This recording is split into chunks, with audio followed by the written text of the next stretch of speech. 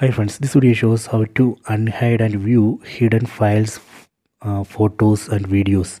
Please don't forget to subscribe this channel. Please like and share the video. First go to my files. Tap on this my files app icon. Go to internal storage. Tap here. Go to pictures. Tap here.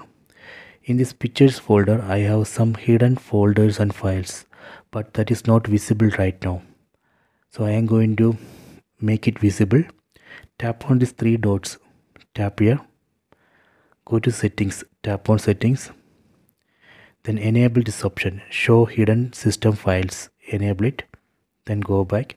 See now we can see those hidden folders here. Hidden videos. My secret folder. Secret photos. Let me go to hidden videos. See.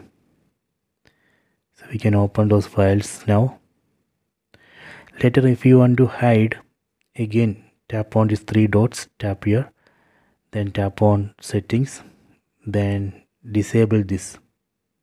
Done. Then go back. See now those secret folders are not visible. So this way we can unhide and view hidden files photos and videos. I hope you have enjoyed this video. Please check it